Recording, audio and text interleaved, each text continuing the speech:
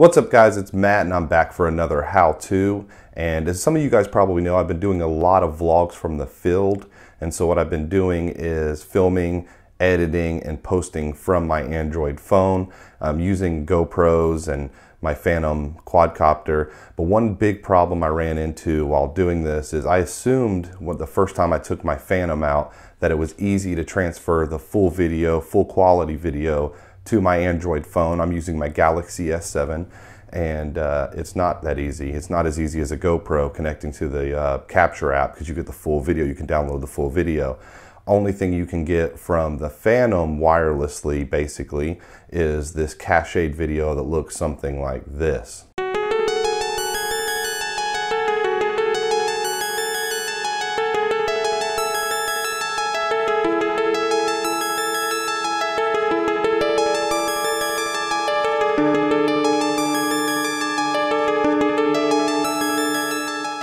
All right, so as you can see, that looks terrible.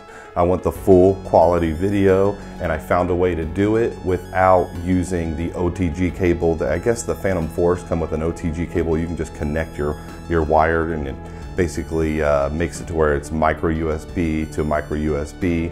So I don't have nothing like that. The Phantom 3s I don't believe come with anything like that, but I found another way to do it using the SD card and I'm gonna explain it and show you exactly how to do it today. Check this out.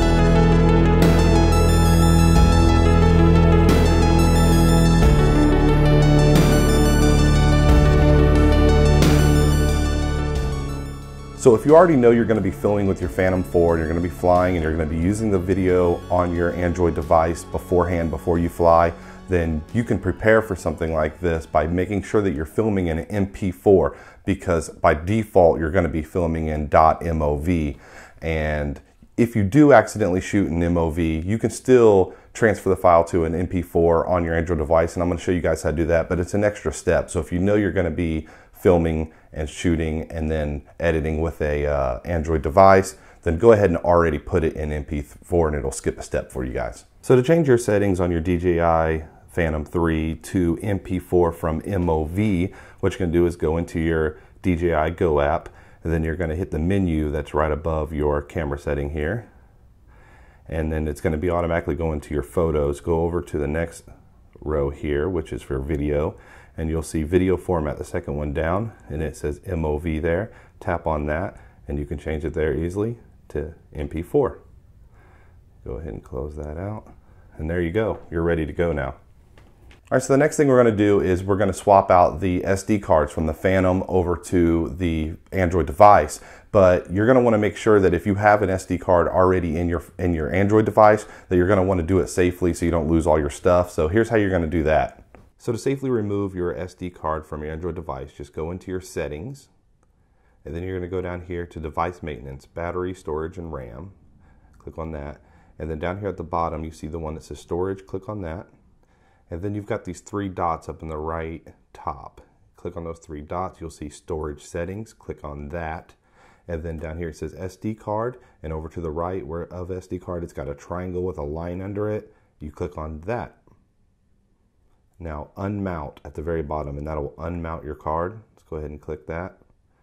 There you go. SD card unmounted. Now it's safe to pull out and take out your SD card.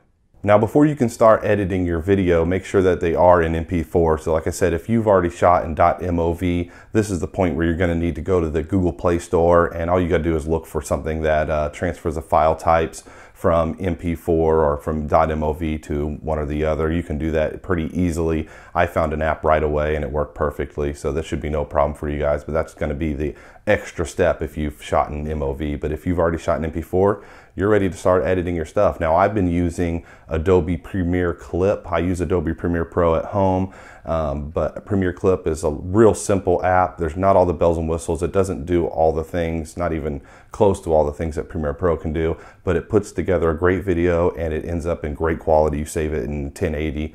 It's fantastic stuff. So check out that app and appreciate you guys watching this how to. Hopefully it helped you guys and we'll see you guys on the next video. Peace.